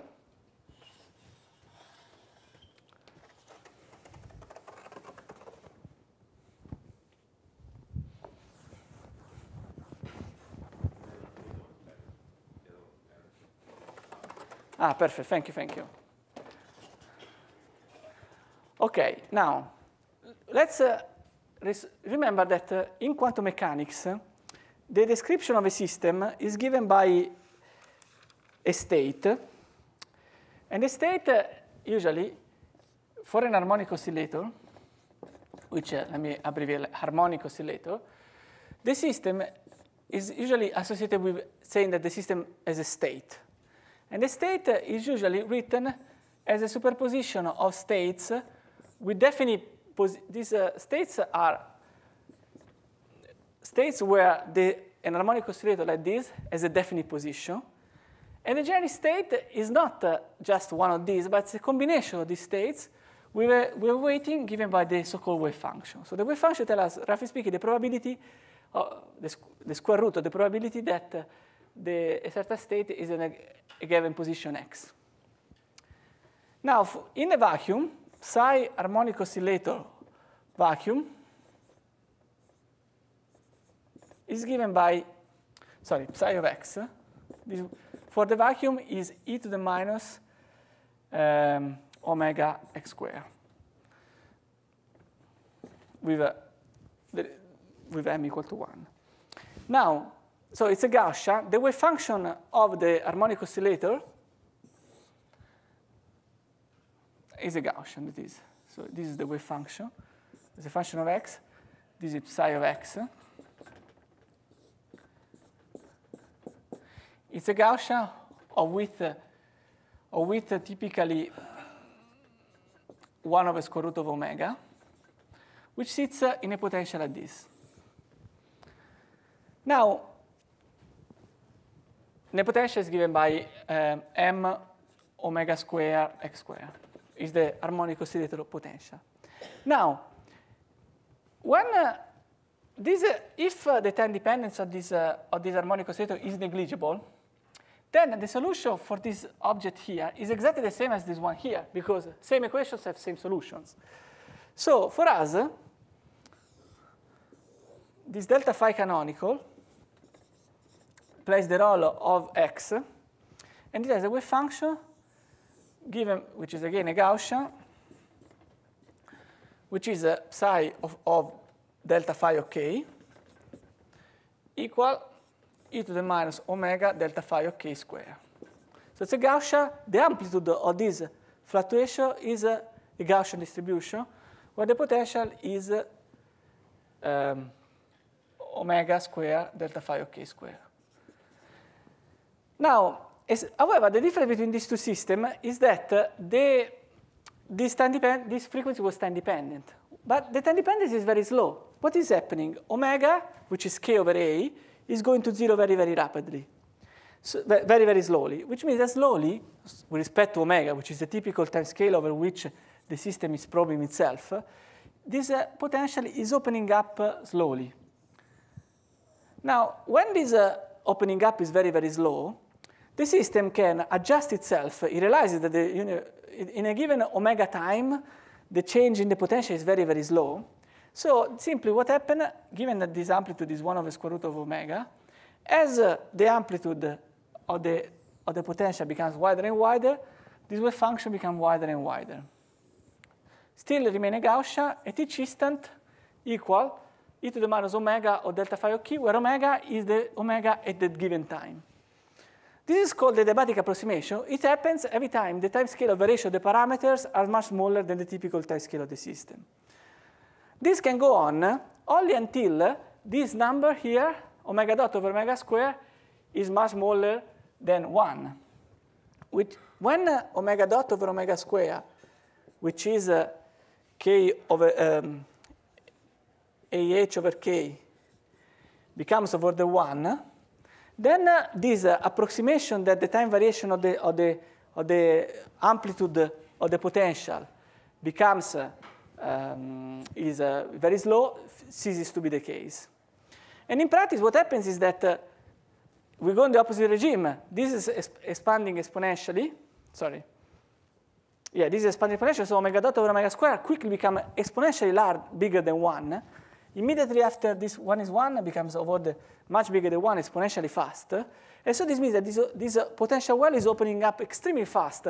And the, the harmonic oscillator cannot keep up because its omega is, is going to zero and this rate is going, and the amplitude is going, is, is becoming uh, very, very, is opening up incredibly fast, which means that the, the, the, the, the wave function becomes stuck where, where it was.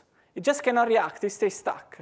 So psi of delta phi of k, this canonical field, for k over ah much less than 1, is nothing but psi the delta phi of k add when k over ah is equal to 1. Okay? Because it didn't have any, any, any, any times to react. Which means, uh, in formulas,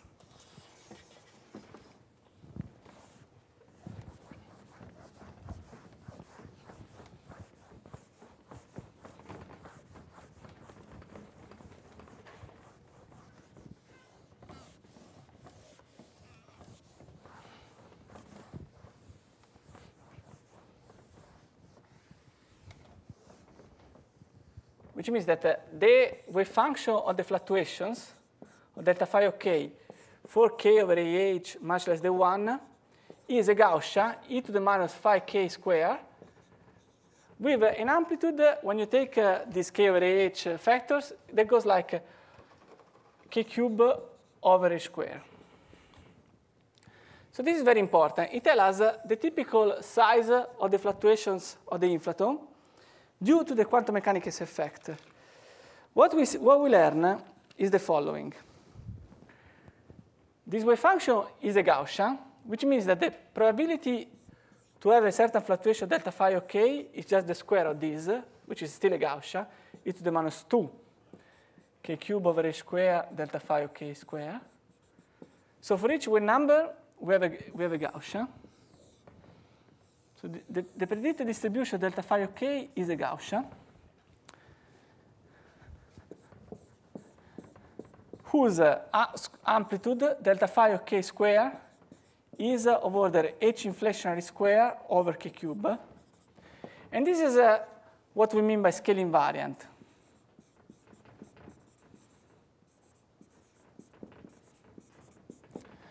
This one over k cube there is just uh, to count uh, is what is a is tough to count. It's a numerical is a factor just to represent the fact that uh, there are less uh, numbers for lower k. So this is uh, exactly what is needed. so apart from this k cube, that uh, this k cube means uh, that it is exactly um, what is needed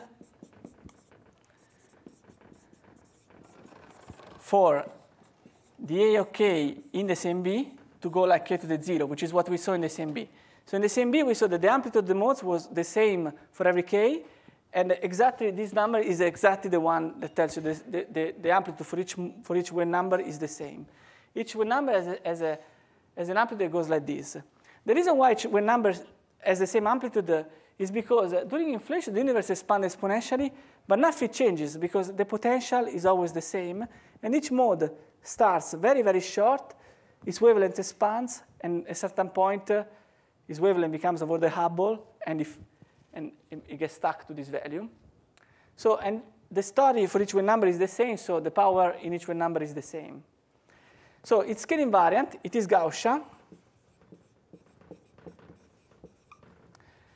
And um, it has a, a tip, yeah, it has a variance like this. Uh, and uh, notice uh, a, a, peculiar fact that, uh, and by the way, I should stress that there is an, if you put by the units, there is an H bar there. This effect goes to zero if quantum mechanics is shut off. So it's purely quantum mechanic effect.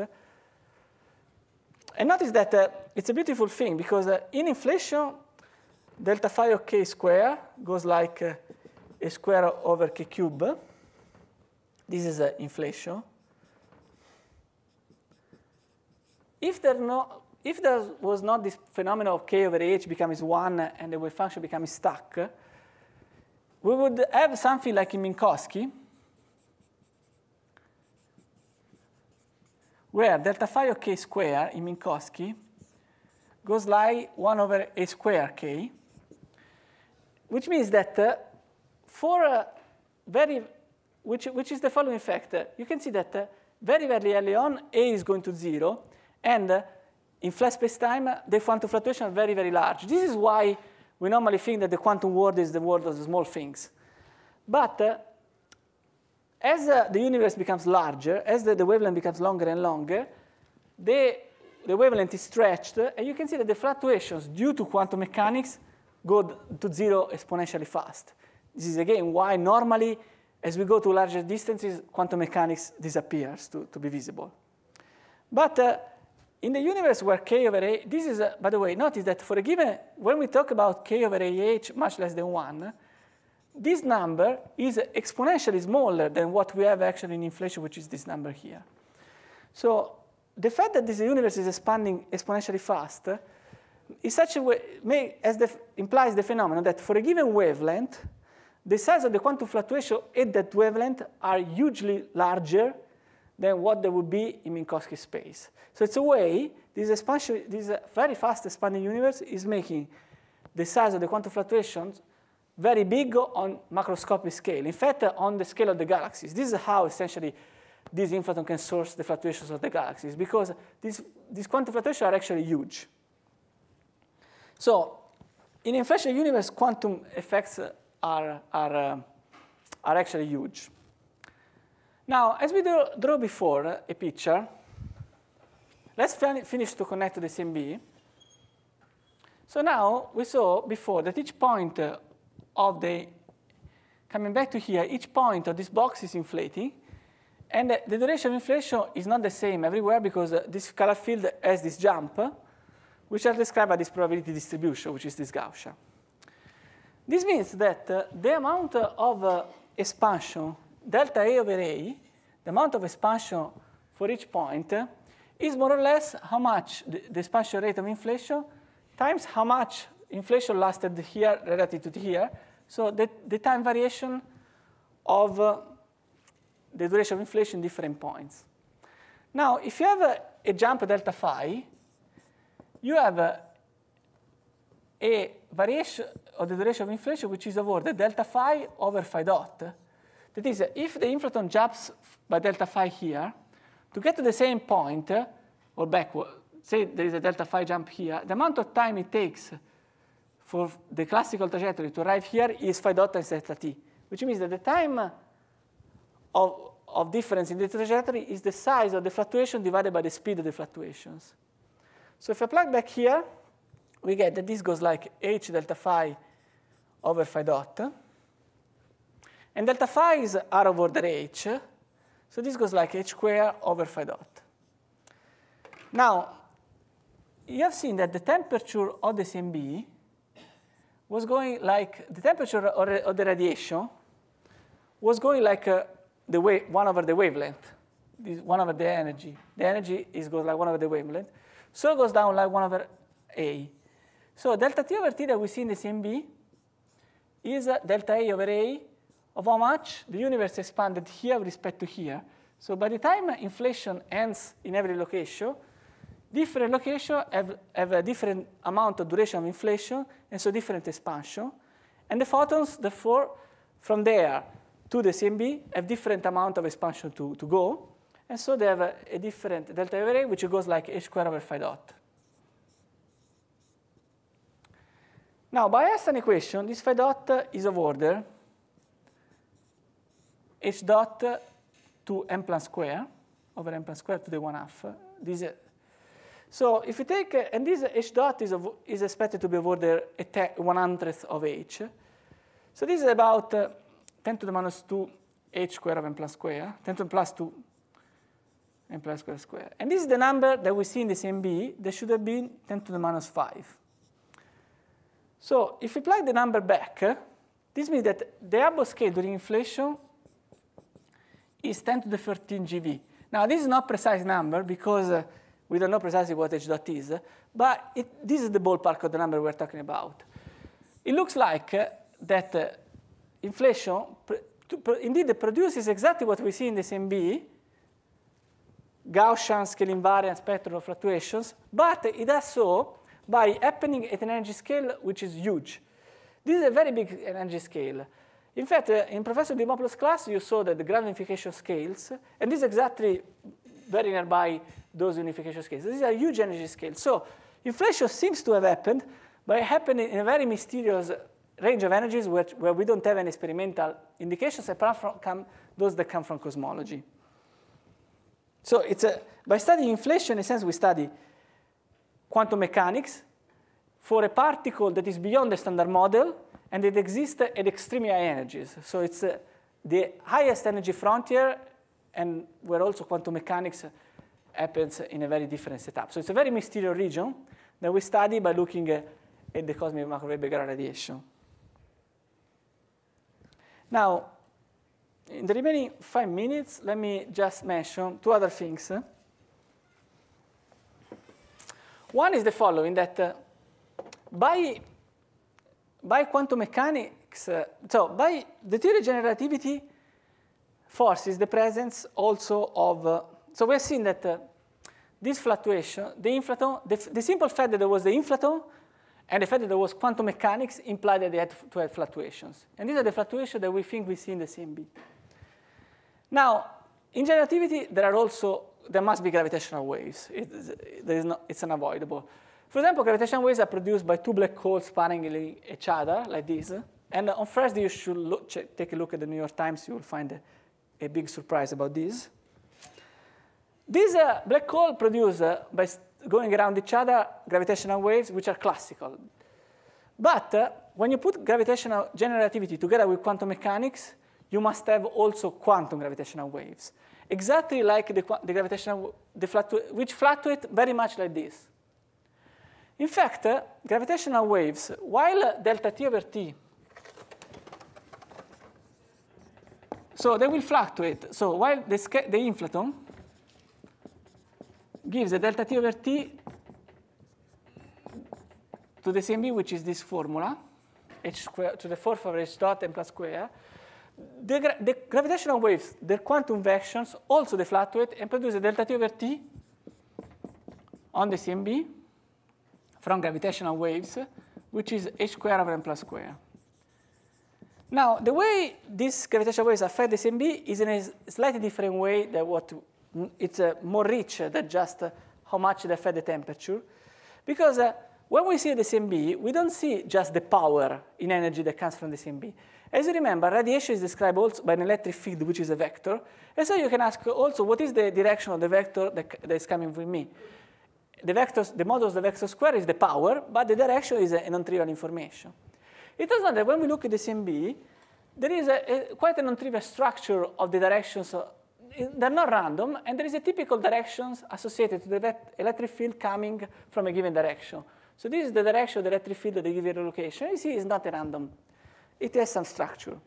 In particular, if gravitational waves were to be in the sky, they will produce a pattern which is uh, all these uh, vectors, which will be about more like a curly, a curly pattern. It's, which, uh, if uh, there are no gravitational waves, there cannot be. In absence, absence of gravitational waves, the pattern can only be this kind of radial pattern or this polarization. So by looking at the polarization, at the direction of the vector field, which is called the polarization of, the of this uh, CMB, we are trying to see the gravitational waves which will not be just gravitational waves, but it will be quantum gravitational waves. It will be the proof that gra gravity is quantized, and that will be actually the quanta of the gravitational waves. So what is the, the, the what is, the, let me, in two minutes, let me explain you. So I gave you an overview of what we know, but let me just explain you a couple of things about the frontier. So this is uh, all, all what I, and this is San Francisco. Found it on Google. Uh, so what I told you, it's almost all true. What we are not positive that is true is the theory of inflation. We have great evidence that inflation is true, but uh, we don't know yet uh, how inflation happen, we think that inflation happens in reality, but this particle, we don't know how to connect it to the standard model, what are the symmetries, how it communicates, how it interacts with the other particle. We know very little about that. We, don't, we know, in fact, all, all what we know is what I told you, actually. Uh, so there is a lot of research going on in trying to understand what, is, uh, the what are the properties of this inflaton field. In particular, you see here that the distribution of the inflaton fluctuations was Gaussian. The reason why it was Gaussian is because uh, it was solving the equation of an harmonic oscillator, which were linear equations. If the equation for the, for the inflaton were not linear, like delta phi double dot plus omega squared delta phi plus g delta phi cube, for example, then the distribution of the fluctuation would be non-Gaussian, like for example like this. That's, that could have been what we see. So a distribution like this, uh, P of delta phi like this, would be called non-Gaussian because it's not a Gaussian. And you see that the moment I say non-Gaussian, there is an infinite range of possibilities. It's not like a Gaussian, which is a unique function, is due to Gauss. So, but uh, it's very interesting uh, if uh, the, the, fluctuations are a bit non-Gaussian, because the non-Gaussian fluctuation is associated to the inflaton not being an harmonic oscillator, which means not satisfying the, the linear equation of motion. Non-linearity in the equation of motion are the interactions, which for us physicists are really the, the most important part of the theory. For example, when you saw uh, the class, the class, the mini course of Dimopoulos, all, the only thing he talked about were interactions. Instead, so far in this class, I only talked about the linear theory, setting the interactions to zero, because already linear theory is quite interesting. Instead, for particle physics, the linear theory is kind of totally obvious. So here we have already something interesting in linear theory, but uh, it's uh, uncomparable to how much more interesting and much richer of information it is in nonlinear theory. So it is uh, very interesting to, to study the most general way in which uh, the theory of inflation can have interactions compatible with quantum mechanics and Lorentz invariance and the principle that we know and love. For example, it's possible to write this formula. For example, this is the formula that, that uh, describes the general equation of motion for inflation. No matter what it is, this is the equation of motion we know. And uh, right now, we, did, we know that uh, the, the CMB looks quite Gaussian, which means that G, this coupling constant G is very, very small. But, uh, but it, could be, it could be detected. How we will think uh, we will detect it? Let me, one minute and then I stop. The, the way, the fact that the fluctuations are of quantum origins means that we can only predict the distribution. Now, how we prove the distribution of a, how can we prove the distribution? Either we, we, we, reproduce the universe many, many times, like flipping a coin 10 to the 5 times, and then you can probe if this coin is fair or not. Oh, but we don't have this luxury in the universe. We have one universe, and it's very hard to have in a laboratory reproduce it many, many times. But we have many, many plane waves. And if, if, if, if uh, for example, if you have many, many coins, you can throw, and you know that they're all the same, instead of doing 10 to the 5 experiments, you can take uh, 10 to the 5 these coins, throw it once, and if you get 50, 50 head, 50 crosses, you, you know you're pretty much fair. Now, when we look at the CMB, each uh, of these fluctuations is more or less like uh, a, a sampling of this distribution. And so by looking at many, many of these fluctuations, we can reconstruct to great precision the distribution of this fluctuation and understand if it is Gaussian or not. If it is not Gaussian, then we can reconstruct what are the interactions of the inflaton and understand how it couples to the standard model to the other particles. So a big effort is actually going on in trying to understand theoretically how we can reconstruct the initial conditions for the, for the universe. With the CMB, we have done it very well. We have measured it very well. Experimentally, what is going to happen in the next 10 years is that uh, we will measure with great precision the distribution of galaxies by experiment like LSST or Euclid, which will measure with great precision the distribution of galaxies. This is, the fluctuation distribution of galaxies is nothing but, as you know, the time evolution of the CMB fluctuations. If we can reconstruct these fluctuations, we can probe again the distribution of the inflationary field. This, is bit, however, is a bit non-trivial because uh, uh, galaxies, you can see, at short distances are very, very complicated.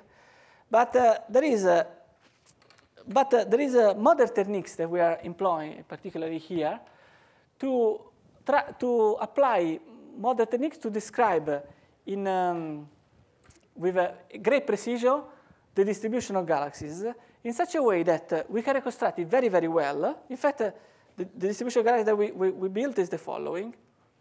Take these galaxies. It is, uh, naively, it's very, very complicated. But if you take uh, each pixel to be um, just containing many, many, many galaxies, you realize the following fact, which is quite amazing, that the equation of motion that it governs are exactly the same of chocolate syrup. And this is no, yes, uh, it's not just a joke. Actually, it turns out it's pretty, pretty true.